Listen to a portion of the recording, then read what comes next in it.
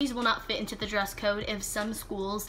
And uh, some of these were breaking my dress code rules but I wore all of these outfits to school. As you can see I tried to vlog the outfits in school but sometimes I just forgot. But I tried to take pictures in them too. So I hope you guys enjoyed this video. If you did please don't forget to give it a big thumbs up and subscribe down below. Follow all my social media and tune into my channel every single day because I post multiple times throughout the week.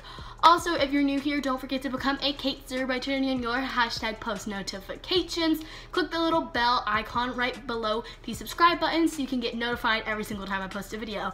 With that being said, I hope you enjoy and check out my outfits. So we gonna voice over it. This is the first outfit and I'm just wearing some ripped jeans from Kohl's and then I'm wearing this like I think it's a mauve or plum or something like that, but it's a shirt I got from TJ Maxx, you know, just chilling. And then I had my black old school Vans on and I had a little pink scrunchie. Gotta keep it cute and classic. This is just super easy to throw on.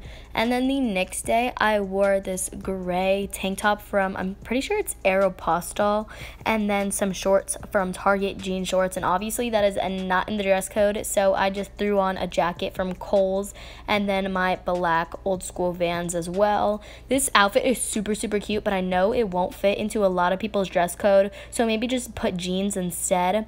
Then we have this blue, uh, it's like a sky blue shirt, and it just had little crisscrosses on the side. I paired it with a star necklace and then some leggings in my old school Vans.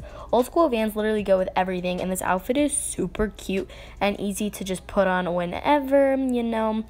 And then this is a comfy outfit kind of day. I wore this long sleeve yellow shirt that I got from Helen, Georgia. I went there over Labor Day weekend for a day and it's just a really pretty yellow shirt. And then of course leggings. A common factor, I wear leggings to school like most days of the week. So that was just a really comfy outfit.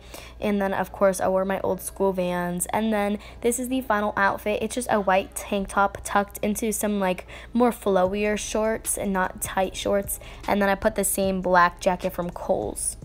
So that's really it. I hope you guys enjoyed this video. It was super fun to film and um, enjoy the next clip of my bestie Cole telling y'all to subscribe to my channel. What is up, Katesters? My name is Caiti's Corner. Please like this video, turn on your hashtag no post notifications, subscribe to Caiti's Corner. for more. I'm cutting that out. Bye!